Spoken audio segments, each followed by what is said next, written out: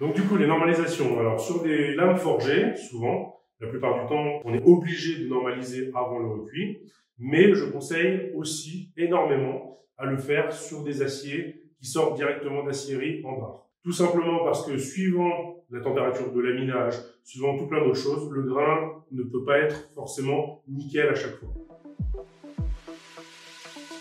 Une normalisation à faire, c'est très simple. Si on part sur des aciers classiques comme le 90 MC8, le l'XC75, l'XC100, C130, c'est assez facile.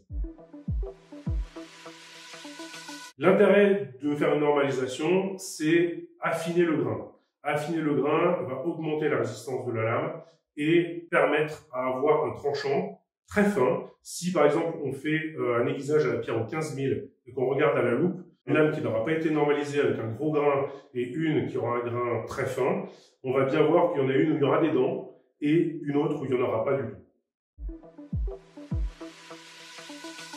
Donc alors concrètement, pour faire une normalisation, il faut chauffer l'acier assez rapidement, c'est quand même conseillé, et le refroidir assez rapidement aussi.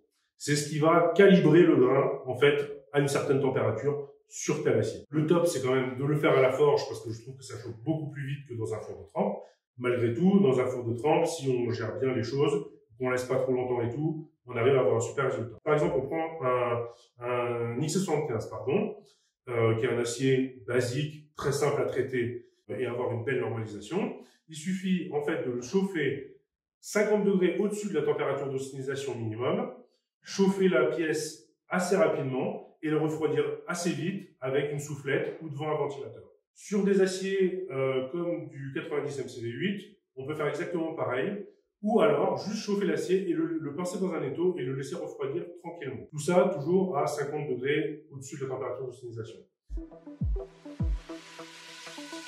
J'ai remarqué, comme par exemple le C130 et même le XC100, il faut répéter cette opération au moins trois fois, surtout si on forge, et faire des températures dégressives. Donc la première, 50 degrés au-dessus de la température de, pardon, et ensuite descendre à la température d'oscillation, genre 800 à peu près, et une un petit peu mini à 780. Et on arrive à un grain très très fin. Et tout ça toujours en soufflant la pièce pour un refroidissement rapide. Sinon, on n'est quand même pas optimum de ce que j'ai remarqué. Après, c'est mon avis. Il y en a d'autres qui changeront, qui sont peut-être pas forcément d'accord, mais si on regarde vraiment bien avec une loupe qui grossit beaucoup, on voit quand même une nuance.